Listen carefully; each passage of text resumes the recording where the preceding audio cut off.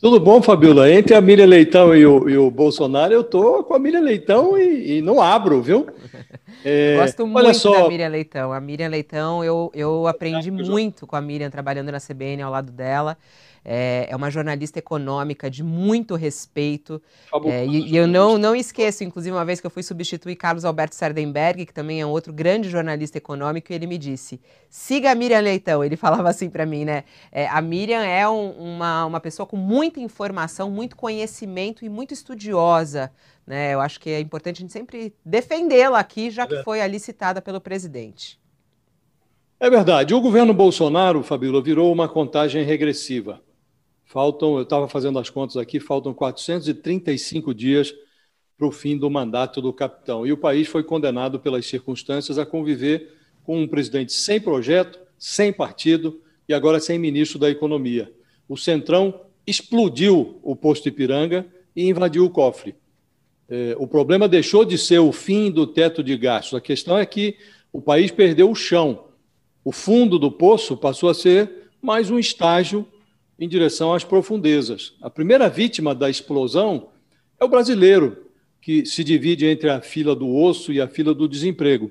O novo Bolsa Família de 400 reais, ele é mastigado pela inflação antes de chegar no bolso. A segunda grande vítima é a semântica.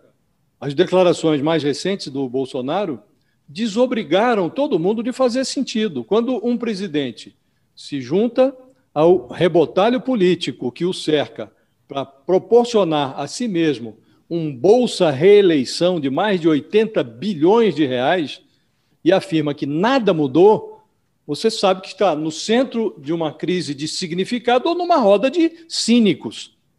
O Bolsonaro declarou numa entrevista e na sua live semanal de quinta-feira que o Paulo Guedes continua firme, que ele apoia as reformas liberais e que o teto de gastos permanece intacto. Disse tudo isso ao final de um dia em que a comissão da Câmara aprovou a emenda sobre o calote nas dívidas judiciais, a equipe do Ministério da Economia bateu em retirada eh, e empresas listadas na Bolsa contabilizaram perdas em valor de mercado de 284 bilhões no intervalo de 72 horas. Ao atear fogo na economia para tentar reacender a chama do seu projeto de reeleição, o Bolsonaro força os seus adversários políticos a ajustarem as suas estratégias. O Lula viu-se compelido a dobrar o populismo, pregando um Bolsa Família de 600 reais. Aí o Bolsonaro contra-ataca com o Bolsa Caminhoneiro de 400 reais.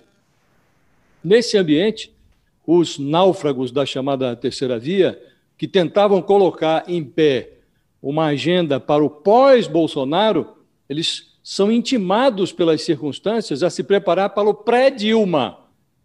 Já não é negligenciável, Fabiola, a hipótese de que o Brasil viva uma recessão no ano eleitoral de 2022. Esse é o cenário em que nós nos encontramos.